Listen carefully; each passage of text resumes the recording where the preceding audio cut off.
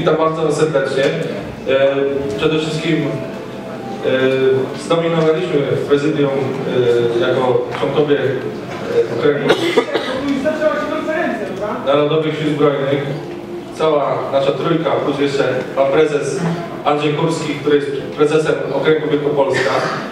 Wszyscy jesteśmy tutaj jak gdyby kontynuatorami, moi tutaj starsi koledzy, jak gdyby bezpośrednimi kontynuatorami e, również obozu narodowo-radykalnego, był w Związku Jaszczurczym w czasie wojny, potem Narodowych Sił Zbrojnych. Pan Zbigniew Tuszewski, przedwojenny honorowiec, e, żołnierz drugiej konspiracji, e, współpracownik na terenie Poznania Stanisława Kasznicy, także osoby, które e, dotknęły niemalże bezpośrednio e, działalności i ludzi związanych z ONR-em. Ja ich bardzo daleko, e, siedząc w archiwach i czytając, czytając publikacje.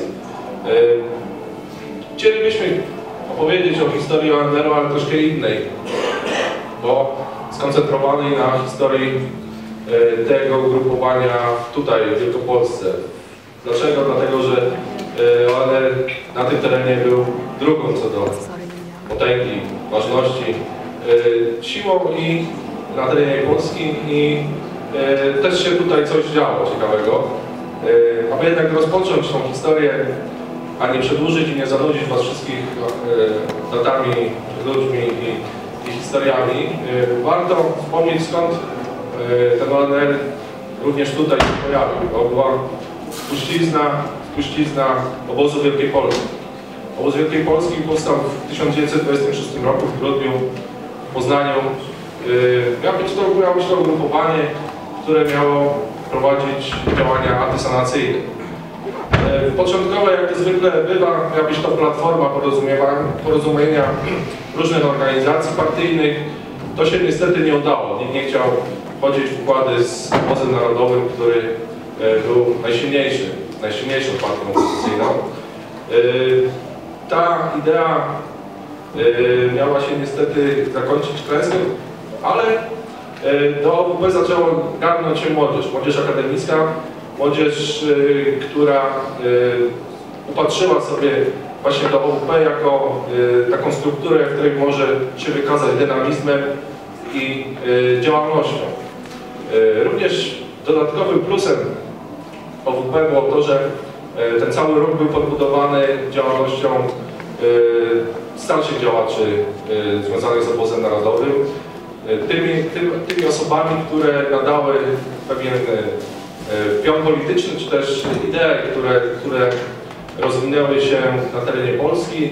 OWP również zaczęło e, gdyby swoją działalność nie tylko na terenie młodzieżowym, ale również sięgnęło do innych walk społecznych, do chłopów, do robotników e, i e, spowodowało to, że e, te warstwy również zaczęły do obozu Wielkiej Polski wstępować. E, Działalność dość prężna e, w momencie, kiedy sanacja zlikwidowała stopniowo OWP, e, ruch ten liczy około 300 tysięcy członków.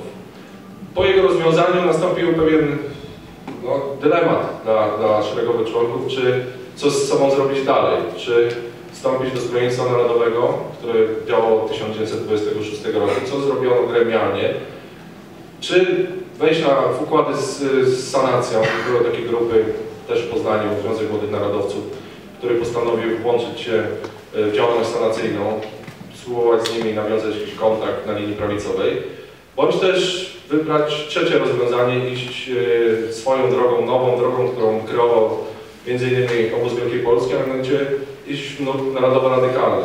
Samemu dotrzeć do, do wszystkich władz społecznych i próbować e, przemiany w duchu troszkę bardziej radykalnej niż Stronnictwo Narodowe. Również w Poznaniu miało, miejsce, miało miejsce takie dylematy, dylematy, które, które podejmowało wielu działaczy obozu Wielkiej Polski. E, I tu też w Poznaniu, wy tutaj, wy tutaj się czujecie e, kwiecień jako, jako miesiąc powstania obozu narodowo-radykalnego, a w Poznaniu mm, działalność, próby e, tworzenia e, Partii Narodowo-Radykalnej rozpoczęły się już we wrześniu 1933 roku i swój finał miały 4 marca 1934 roku kiedy to Poznaniu zarejestrowano, powstała partia narodowo-radykalna pod nazwą Stronnictwo Wielkiej Polski. To ugrupowanie, tym ugrupowaniem kierował Michał Choworka, wybitny prawnik, działacz Młodzieży Wszechpolskiej, działacz UP i lider, lider Stronnictwa Wielkiej Polski, które dość szybko rozwinęło swoje struktury na terenie, na terenie Poznania i Wielkopolski, ale było w kontakcie, Michał Choworka był w kontakcie z działaczami, którzy tworzyli obóz narodowo-radykalny w Warszawie.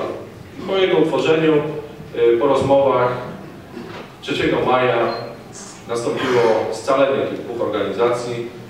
SWP stało się częścią składową obozu narodowo-radykalnego. Sam Michał Dworka został kierownikiem okręgu Poznań obozu narodowo-radykalnego.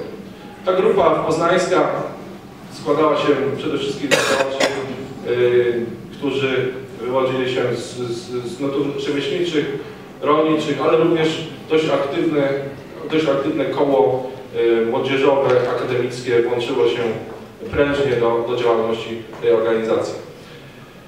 Jak wszyscy wiemy, y, legalna działalność ONR trwała tylko kilka miesięcy. W Poznaniu obóz narodowo-radykalny został zlikwidowany w lipcu 1934 roku. Y, został na terenie Poznania zostało zawieszonych 9 placówek, w tym placówka żeńska. Na terenie województwa poznańskiego e, zlikwidowano 11 placówek. E, tym likwidacjom towarzyszyły oczywiście aresztowania, przejmowania, przejmowanie materiałów propagandowych, również z terenów, teren, spośród działaczy ONR-u została znaczna grupa aresztowana w związku z zabójstwem ministra Pirackiego. Prewencyjnie zostali aresztowa został aresztowany m.in. E, prezes Michał Poborka. E, dość powiedzieć, że tylko jedna osoba, e, tylko jedna osoba została wysłana do obozu koncentracyjnego w Bolezie Kartuskiej. Natomiast reszta została uwolniona, również Michał Poborka, który wraz ze sporą grupą swoich zwolenników włączył się w nurt Związku Młodych Narodowców i rozpoczął współpracę z sanacją.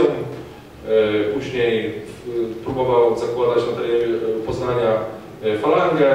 To był to działacz dość prężny, bardzo trudno, trudny we współżyciu, stąd, stąd wielokrotnie zmieniał organizację.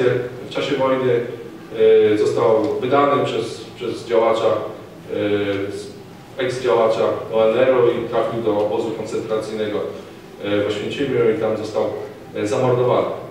Oczywiście e, delegalizacja ONR-u nie spowodowała na terenie Poznania jego zaprzestania, zaprzestania jego działalności. Na czoło tej formacji, na czele tej formacji stanął Przemysław Armiński, kolejny działacz Młodzieży Wszechpolskiej, lider akademickiego WP w Poznaniu, wybitny tenisista, hokeista, człowiek o wielu talentach, dziennikarz, który rozpoczął krótko po powrocie z wojska tworzenie e, struktury konspiracyjnej. E, przez rok, do roku 1935 roku, do 1935 roku ta formacja tutaj nazywała się Obóz Narodowej Rewolucji, miała kontakty z Warszawą, e, specjalne grupy kurierów jakby to nazwać, przerzucały bibułę, sztafetę na, na teren Poznania.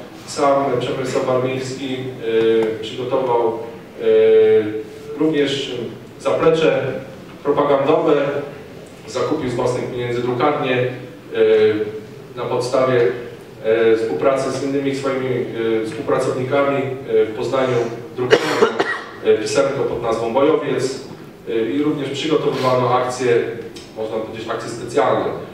Jedną z takich akcji miała być akcja bojkotowa na terenie Gdańska sklepów żydowskich. E, wspólnie z kupcami gdańskimi i placówką ONR-u na Politechnice Gdańskiej miano przygotować taką operację.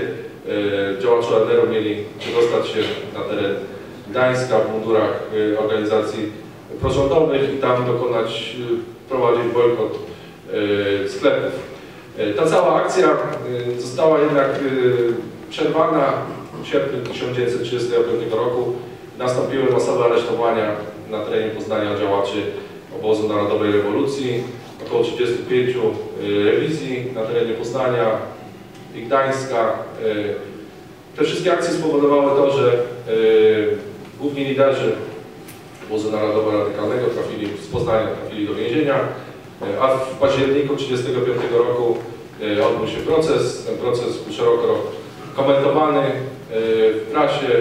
Wśród osób aresztowanych znalazł się oczywiście Przemysław Warmiński, ale również y, Lech Neyman, późniejszy, jeden z ostatnich y, dowódców Narodowych Sił Zbrojnych. Oprócz tych osób warto również podkreślić, że wśród tej grupy założycielskiej był Zbigniew Koszczewski, syn profesora Józefa Koszczewskiego, tego profesora, który odkrył biskupin. Jego sy, synowie, trzech synów również y, prowadziły, prowadzili działalność w obozie narodowo-radykalnym. W wyniku procesu Przemysław Warmiński został skazany na 4 miesiące aresztu w zawieszeniu. Y, pozostali, pozostałych sześciu współoskarżonych również zostało, zostało skazanych jedynie, Lech jedynie Lechowi Neymanowi nie udowodniono działalności w cudzysłowie przestępczej i on jedyny został uniewinniony w tej sprawie.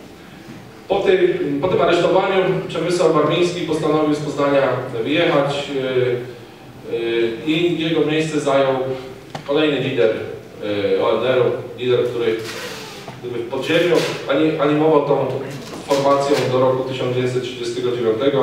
Wszyscy na pewno go znacie, nazywał się Stanisław Kasznica, późniejszy ostatni komendant Narodowych Sił Zbrojnych. On do 1939 roku prowadził działalność na tym terenie. E, Jakaż to była działalność? E, Oczywiście e, w wyniku represji z tego członu ONR-owskiego odpadli wszyscy ci, którzy nie działali na terenach akademickich. Zostali tylko studenci i oni jak gdyby trwali. Pewnym sposobem na, na działalność legalną obozu narodowo-radykalnego w przestrzeni publicznej było utworzenie na Uniwersytecie Poznańskim e, organizacji e, młodzieżowej, studenckiej, a mianowicie Młodzieży Narodowo-Radykalnej. E, Od 1937 roku na uczelni poznańskiej mamy Młodzież Narodowo-Radykalną. Znaczna część tych działaczy związana była również oprócz działalności w byli również korporantami. Na czele tej organizacji stanął Zygmunt Borowski, lekarz, absolwent Wydziału Medycznego, człowiek, który e, kolejny, kolejna postać, która e, tragicznie skończyła swoją, swoje życie. E, Zbigniew Tyborowski został zamordowany w Charkowie w 1940 roku. Także wszystkie osoby, które e, pełniły decyzyjne funkcje w Wielkopolsce, zginęły. Zapomniałem powiedzieć, Przemysław Warmiński e, zginął w 1939 roku broniąc Warszawy we wrześniu 1939 roku. Oczywiście wybucha wojna e, i e, no, działacze jak gdyby rozpieszli się z terenów, e, z terenów Wielkopolski. Znaczna ich część e, trafiła do generalnego gubernatorstwa i tam rozpoczęła swoją działalność. Natomiast takim akcentem e, okupacji niemieckiej na tym terenie było funkcjonowanie e, siatek wywiadowczych Związku Jaszczurczego, które były bezpośrednimi, bezpośrednim ideowym kontynuatorem e, ONR-u. E, Te siatki działały na terenie Poznania, e, Gniezna, Włocławka. Ich działalność została zakończona brutalnie w 1942 roku. Wszyscy wywiadowcy, około, około 12, którzy na tym terenie działali, zostali aresztowani i zostali zgilotynowani w niemieckich więzieniach. Oczywiście na terenie Wielkopolski funkcjonował ruch narodowy, konspiracyjny, e, ale przede wszystkim związany ze Stronnictwem Narodowym. E, Natomiast e, cały aktyw, jeśli nie wyginął, to funkcjonował, tak jak wspomniałem, na terenie Generalnego Gubernatorstwa. ONR-owcy, NSZ-owcy, wrócili do Poznania, do Wielkopolski dopiero w 1945 roku. Wrócili prawie równo e, z, e, z Sowietami, którzy zajmowali te tereny. E, Już w lutym 1945 roku przybyła pierwsza grupa, która ma za zadanie e, stworzyć tutaj konspirację antykomunistyczną. Na jej czele stoi Stanisław Kasznica, poprzednio komendant okręgu Częstochowskiego, człowiek, który w konspiracji zajmował się polityką, który zajmował się ekonomią i, i y, sprawami administracyjnymi. Y, W 1945 roku podjął działalność konspiracyjną tutaj na tym terenie, zostając nie tylko komendantem okręgu Poznań, ale również komendantem całego obszaru. Wraz z nim na ten teren przybywa Lech Neyman, wspominany przeze mnie wybitny działacz okresu konspiracji II wojny światowej, człowiek, który położył y, i był gdyby osobą, która prowadziła do, y, do planów i ideologii y, nie tylko Związku Rozczulczego, ale też Narodowych Sił Zbrojnych temat powrotu Polski do, powrotu do Polski ziem zachodnich. Y, Wspólnie ze Stanisławem Kraśnicem na Lech Neyman organizowali tutaj nie tylko organizację zbrojną, czyli Narodowe Siły Zbrojne, ale również organizacje polityczne i organizacje młodzieżowe. Organizacja polityczna nazywa się Obozem Narodowym, miała być to niejako partia, partia ONR-u w konspiracji. Natomiast y, organizacją młodzieżową, czyli pokoleniem Polski Niepodległej, trudniło się wyszukiwaniem sympatyków Obozu Narodowo-Radykalnego wśród młodzieży, które, która zasilała otwarty po 1945 roku Uniwersytet Poznański. Y, Ta działalność od samego początku y, była niezwykle trudna, ponieważ ludzie nie się y, w dużej mierze do konspiracji, y, zmęczeni y, bardzo krwawą okupacją niemiecką. Z drugiej strony budowanie struktur y, wojskowych na tym terenie okazało się mm, o tyle trudnym, ponieważ wśród osób, które napłynęły do Poznania wraz z Kasznicą, znalazł się człowiek, który będąc y, w strukturach y, wysokim oficerem, bardzo szybko stał się wysokim y, i dobrze opłacanym agentem y, Ministerstwa Urzędu Bezpieczeństwa w Poznaniu. Dzięki jego informacjom y, już w sierpniu, w lipcu, sierpniu rozpoczęły się masowe aresztowania grupy wojskowej. Wśród aresztowanych był m.in. pan Zbyszek, który jest tutaj z nami. Y, I ta grupa została w październiku skazana wyrokami sądowymi na długie lata więzienia. One zostały troszkę skrócone w 1947 w wyniku amnestii. Natomiast te aresztowania spowodowały likwidację struktury wojskowych. Sam Stanisław Kraśnica nie został aresztowany, ponieważ na przełomie lipca i sierpnia przejmował dowodzenie całych struktur NSD. Również działalność polityczna i ta młodzieżowa y, nie przyniosła dużych efektów. Część działaczy nie chciała po prostu konspirować. Koniec końców został tutaj tylko Lech który, który stopniowo gdyby wchodził coraz wyżej w struktury kierownicze tej organizacji, kiedy w, na przełomie y, 46 i 47 roku y, ta grupa została aresztowana, to Lech Neyman był numerem dwa po Stanisławie Kraśnicy. W lutym 1947 roku Stanisław Kraśnica i Lech Neyman zostali aresztowani. Neyman w Poznaniu na ulicy niedaleko y, wypadłem z głowy. Y, W Poznaniu y, Kraśnica w Zakopanem, obaj trafili do więzienia w Warszawie. Po rocznym śledztwie y, i procesie zostali skazani na karę śmierci i straceni. Proces rehabilitacji tych osób niezwykle nam, dla nas ważnych jako y, żołnierze Narodowych Sił Zbrojnych rozpoczął się w latach 90. Pierwszy zrehabilitowany został z tej dwójki y, Stanisław Kraśnica w 93 roku. Y, Lech Neyman musiał czekać długo, ponieważ jego rodzina zmarła, nie miał się kto upomnieć, tylko upomniał się e, Związek Żołnierzy Narodowych Sił Zbrojnych i od 2004 roku e, ten hańbiący wyrok został uchylony. Wobec Lecha Neymana mamy w tablicę e, poświęconą obu e, przywódcom Narodowych Sił Zbrojnych. Także e, zapraszam, będąc w Poznaniu, żeby ją zobaczyć. E, W 2009 obaj zostali odznaczeni e, najwyższymi odznaczeniami państwowymi, Krzyżem Wielkim Orderu Rodzenia Polski. Ciekawą i, budującą dla nas informacją jest fakt, że odkryto grup, w którym znajdował, się Stanisław Kasznica i moim zdaniem na pewno Lech Neyman trwają próby identyfikacji Lecha Neymana. E, Hołdem dla tego ostatniego jest książka, którą napisałem, jest w niej historia ONR-u poznańskiego, bardziej szczegółowo opisana niż tu dzisiaj przedstawiłem, historia działalności e, całej grupy w okresie wojennym, powojennym, także e, serdecznie do niej zapraszam.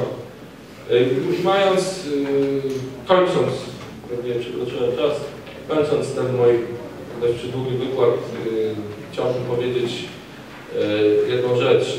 ONR e, działał legalnie tylko 3 miesiące, ale myślę, że to jest, tylko, jest to jedyna partia, która e, zapadła tak głęboko w pamięć, że, że do dzisiaj ją wszyscy wspominają albo dobrze, albo źle.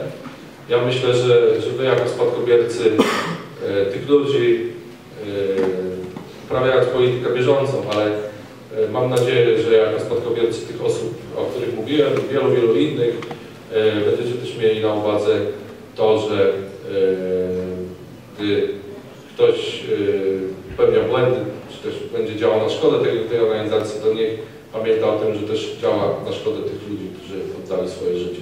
Dziękuję bardzo.